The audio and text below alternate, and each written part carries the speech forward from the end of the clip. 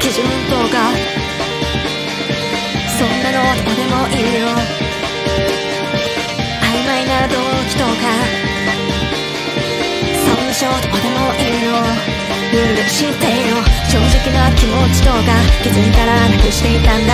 ようやく終わったはずの。苦しみも。静寂が続くから。土の中死体掘り出して。最後はあの下で。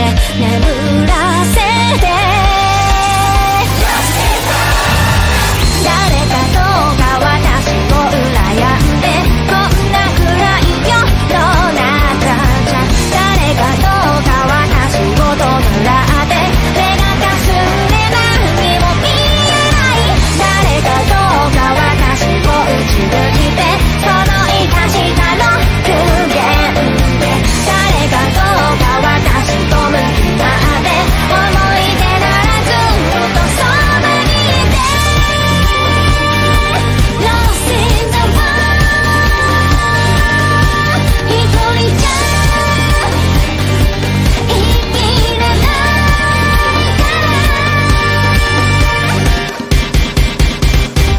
からじゃあねなんてもしもまた会いとも言わない結局誓っただけの I love you も。